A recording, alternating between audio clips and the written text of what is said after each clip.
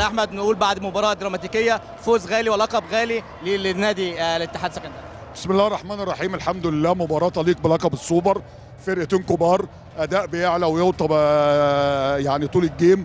وفي الآخر إحنا كان حظنا أحسن بس من غير تحليلات من غير تحليلات فنية كتير يعني. هم لو جابوا الشوتين الأخرانيين بتوع ال foul shot كسبوا ال game.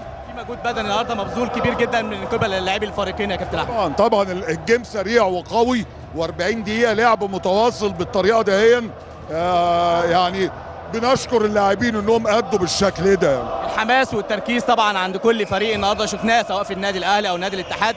لكن نقول اللحظات الحاسمة وال- والتصويبات الحاسمة في الآخر كانت من نصيب نادي الاتحاد السكندري والله مش قوي يعني هو برضه basket basket. هم برضه كانوا بيسجلوا وإحنا بنسجل. فالمباراة كانت لو ضيعت كورة في التوقيت ده هو كانت بتنهي ال game. وده اللي حصل. إيه أول رسالة قلتها لعيبتك بعد الفوز على النادي الأهلي وتحقيق لقب السوبر والله مباراة وعدت الحمد لله وبنبص في اللي جاي بقى. ده طبيعي ده طبيعي. فرقتين كبار و- وماتش مهم زي ده لازم ال tension يبقى موجود. بس اللي عنده إرادة واللي عايز يكسب أكتر هو اللي بيكمل للآخر. يعني أول حاجة الحمد لله على المكسب. آه ومبروك لجمهور الاتحاد السكندري مبروك لنادي الاتحاد وجمهور اسكندرية. وطبعا أكيد رئيس النادي ومجلس الإدارة الحمد لله يعني ربنا وفقنا النهارده. معنويا ال game ده كان بيفرق معانا. أكيد يعني هي دي مثل ال basketball لما يبقى ال game ال game close game ما بتقدرش تحكم آه، مين هيكسب. لحتى الآخر ثانية كان two shots للأهلي بس حظنا ال- الحمد لله إنه يعني حطوهم بره فكسبنا نقطة. كان ممكن ال game يتقلب في الآخر ويكسبوا هم. فهي دي لعبة الثواني. لما يبقوا فرقتين ال level أو المستوى قريب من بعض الناس بتستمتع بال basketball والحمد لله في الآخر إنه كنت أنا بتكلم بين الشوطين مع حد إنه ال game ده بيفرق مع الاتحاد معنويا.